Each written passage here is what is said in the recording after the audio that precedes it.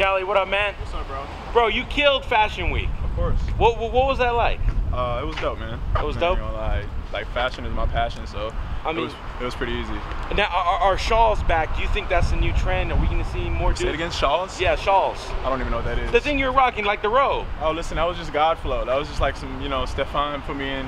He said I was the fashion god, so I just wore it. Like, it, was it, it, it was. it was more like a real, like a, like a. You, you felt like God wearing that. Did you It was a yeah, yeah. It felt like you know I was just serving a purpose. That's what it felt like. right. Well, Yeah. I- can we expect more more athletes to wear shawls like that? Hey man, I was the first.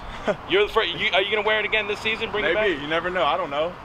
So who, who's your dream designer to walk for? My dream designer, Kelly Oubre Jr. Uh, are you gonna come up with your come out with your own line soon? Facts. Guys. Really? Yeah. Is it gonna be Tsunami Papi or what's it gonna No, be? dope soul. Dope Soul. Yeah. Who, who, who do you want to collab with? Dream collab, fashion wise. Dream collab. I don't know. Kanye, Kim. Nah. Chris- Um, nah. Um, Gucci. Shit, it's tough, man. On the spot, I don't really know, bro. Jerry Lorenzo is my guy.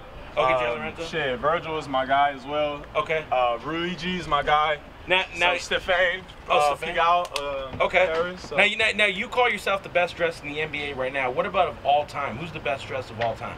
Ooh, I gotta do my research, bro. Yo, I'm, I'm around, bro. Catch me. Oh, you got to do your research. You're the man, Kelly. Take care.